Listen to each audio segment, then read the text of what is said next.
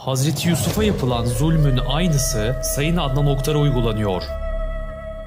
Sayın Adnan Oktar'a da tıpkı Hazreti Yusuf'a atılan iftiralar gibi çirkin iftiralar atıldı. Adnan Bey bu iftiralar yüzünden hiçbir suçu yokken 2 yıldır cezaevinde en ağır şartlar altında tutuluyor. Bulunduğu hücre 9 metrekarelik ve zemininde bir miktar su ile. Tıpkı Hazreti Yusuf'un kuyuya atıldığında kuyunun zemininde bir miktar su olması gibi. Tıpkı Hz. Yusuf'un zindanlarda unutulması gibi Sayın Adnan Oktar'ın da cezaevinde unutulması planlanıyor. Bu sebeple Deccaliyet İngilizlerin devleti ve iftira çetesi 110 yıl yargılanması için kumpas oyununu sürdürüyor. Bu zulüm Osmanlı tarihinde de Cumhuriyet tarihinde de hiç görülmemişti.